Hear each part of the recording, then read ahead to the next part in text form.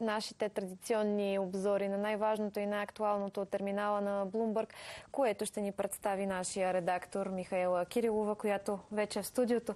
Здравей, Михаела! Здравей. Какъв е днешният ти подбор? С кои новини ще стартираме седмицата? Ще разгледаме решението на Дания и Нидерландия да дарят изтребители F-16 на Украина. На второ място продължаваме да следим темата с повишаването на цените на природния газ заради стачка в Австралия. След това се насочваме към Великобритания, където се планира изграждането на нов завод за батерии за електромобили. Ще проследим новите събития около президентската кампания на а, Съединените Американски щати и ще завършим с новина за неуспешен руски опит за достигане на южната страна на Луната. Интересен подбор, както винаги, Михаела. Предлагам ти да започнем с една от най-актуалните новини, именно Дания и Нидерландия, които продължават да оказват подкрепата си към Украина. Сега двете страни обещаха да предоставят изтребители F-16 на страната до края на годината. Какво пише Блумбърг по темата? Да, Дания обеща да изпрати 19 изтребителя F-16 на Киев, а Нидерландия също обеща да предостави изтребители по време на изненадващи посещения на президента Зеленски. След като получат необходимата зелена светлина от Съединените щати, двете страни членки на НАТО ще изпратят изтребителите на Украина след като пилотите бъдат обучени да ги използват. Премьерът на Дания заяви, че страната ще дари 19 от 30-те датски F-16 на Украина. Първоначалната ескадрила от 6 самолета може да напусне Дания до края на тази година, а над 70 украински военнослужащи се обучават в момента в Дания. САЩ се въздържаха в продължение на месеци, въпреки натиска от страна на Украина и други членове на НАТО, като администрацията на президента Джо Байден заяви, че, по, а, че по-належащи военни нужди имат приоритет и се притесняваше, че това може да доведе до ескалацията, ескалация на противопоставянето на Запада с Русия. Зеленски посети и Швеция в събота, за да постави началото на нов кръг от преговори с съюзниците за оръжейни системи, които биха могли да укрепят отбраната на страната и да дадат тласък на бавно развиващата се в момента контраофанзива. Определено въпроса с обучението на военнослужащите за това как да пилотират изтребителите беше на дневен ред. Сега виждаме, че вече е решен. Да продължим към следващата тема, именно повишението на цените на природния газ в Европа заради планираната стачка в Австралия.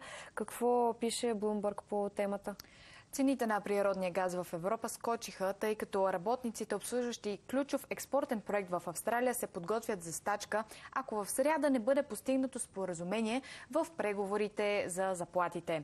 Бенчмаркът за холандския газ за предния месец се повиши с 18%, като търговците се подготвят за още по-голям хаос, тъй като трудовите преговори се проточват. Протестните действия могат да започнат още на 2 септември, ако Woodside Energy Group, операторът на завода, не предложи подходящо споразумение. А, малко по-рано този месец първоначалните новини за потенциалните стачки повишиха цените в рамките на до 40%, като опасенията за доставките се засилиха от по-голямата оптимистична нагласа на търговците възможността за прекъсване на доставките в Австралия, което може да засегне 10% от световния износ на втечнения природен газ, държи европейските търговци в напрежение и през този месец. Ще видим и как ще се развие наистина ситуацията и събитията след сряда, когато, както и ти спомена, е насрочена стачката. Да продължим към следващата тема, която си ни подготвила. На територията на Обединеното кралство се планира нова сделка за завод за батерии. Разкажи ни повече за тази тема. Компанията Tata Sons води а, разговори с множество стартъпи, тъй като компанията търси техническо ноу-хау за своя завод за батерии в Обединеното кралство на стойност 4 милиарда паунда или, или малко над 5 а, милиарда долара. Сътрудничеството за завода за батерии, който може да доставя клетки за поне 500 000 автомобила годишно, може да варира от съвместно предприятие и споделяне на знания до експерименти или дори лицензионни споразумения. Тата възнамерява да има партньори а, по целия път, а, от химията на клетките до производството и индустриализацията.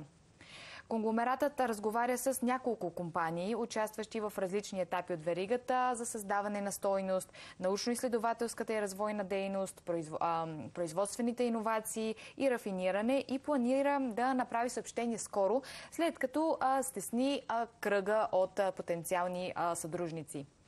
Стремежът на Тата се прибавя към множество автомобили, автомобилни производители като Mercedes, Stellantis и Nissan, например, които в повечето случаи се е избрали да работят с дългогодишни производители на батерии при увеличаване на доставките на батериите в Европа като цяло. През юни Volkswagen, който разработва капацитет от 240 гигаватт часа в региона, заяви, че плановете му са изправени пред доста предизвикателства, свързани с намирането на, например, достатъчно квалифицирани работници, оборудване и важни минерали. Миналата година Обединеното кралство произведе 775 000 автомобила, което е най-малко от 1965 година насам, след като глобалната криза в производството на полупроводниците и затварянето на някои а, заводи засегнаха производството на острова. Как, Михайла, ще се осигурят батериите? Какви са плановете на компанията? Jaguar Land Rover Automotive и Tata Motors, която е лидер на индийския пазар на електромобили, са основни клиенти на завода, който ще осигури батерии с мощност 40 гигаватт часа, като доставките ще започнат, поне се планира да започнат от 2026 година. Land Rover планира да инвестира 15 милиарда паунда през следващите 5 години в разработването на електрически автомобили и функции за така нареченото авто, автономно управление.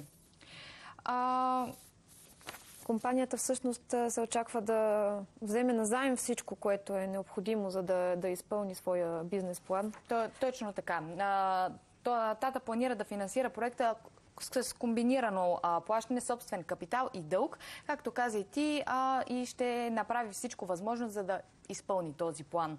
Основното изискване на тата от страна на Обединеното кралство е да осигури конкурентна цена и постоянна наличност на зелена енергия.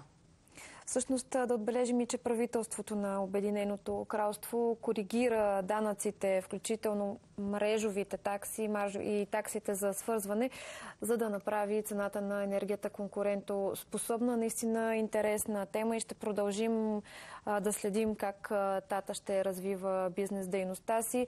Да видим сега какво се случва на територията на Съединените Американски щати. Бившия президент на САЩ отново е под светлините на прожекторите, след като миналата седмица получи поредното си обвинение. Какво ново около Доналд Тръмп и кандидат президентската му кампания?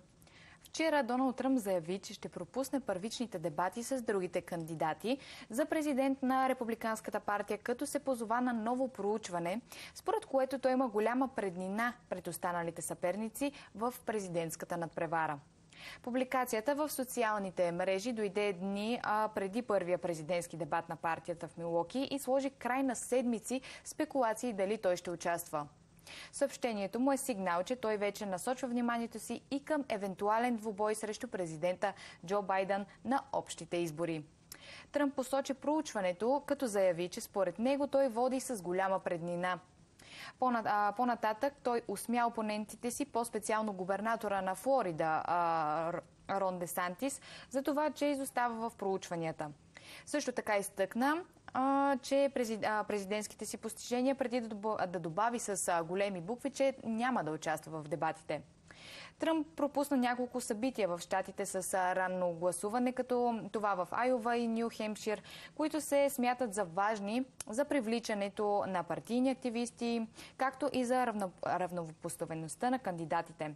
Той не беше поканен и на събитие този уикенд в Атланта, организирано от радиоводещия Ерик Ериксън, на което присъстваха 6 от останалите кандидати, включително и Десантис. Абсолютно, както каза и ти, всъщност Тръмп вече сложи край на всички спекулации около това дали ще се яви на, по време на дебата, който трябва да излъчи кой ще бъде пред, представителя на републиканците в надпреварата за Белия дом. А, да видим сега и още една тема, която си подготвила. Именно през уикенда Космическата агенция Роскосмос съобщи, че опита за достигане на южната страна на Луната на роботизиран космически апарат е бил неуспешен. Разкажи ни повече по темата. Да, Русия съобщи, че нейният роботизиран космически апарат се е разбил при опит да кацне близо до Южния полюс на Луната, като се е провалил и реално в надпреварата с Индия да стане първата страна достигнала този регион. Луна 25 трябваше да отбележи завръщането на Москва на Луната близо половин век след като страната се опита да направи своята последна мисия. От агенцията заявиха, че апаратът се е завъртял в орбитата и се е разбил близо до повърхността. За Роскосмос неуспехът на Луна 25 е последният от поредицата провали, след като инвазията на Москва в Украина през 2022 прекъсна приходите от услуги по изстрелване от много чуждестранни сателитни оператори. Луна 25 трябваше да се приземи на Южния полюс на Луната днес, но а в събота Роскосмос заяви, че не е успял да влезе в планираната орбита преди кацането. Сензори от различни лунни космически апарати са открили доказателства за наличие на така наречения воден лед в кратерите в региона. Инженерите и учени предложи, а, предложиха сами възможността за проучване и може би дори добив на този състав в бъдеще, за да се възползват от а, бъдещи лунни изследвания и може би дори като а, източник на ракетно гориво. Всъщност, действителност, именно южната страна на Луната е изключително желана сред страните, които се съревновават за космическо господство, включително САЩ и Китай. Много ти благодаря, благодаря. Михаила, за днешния ти подбор. Михаила Кирилова, редактор в нашето предаване, ни представи най-важното и най-актуалното от терминала на Блумбърг.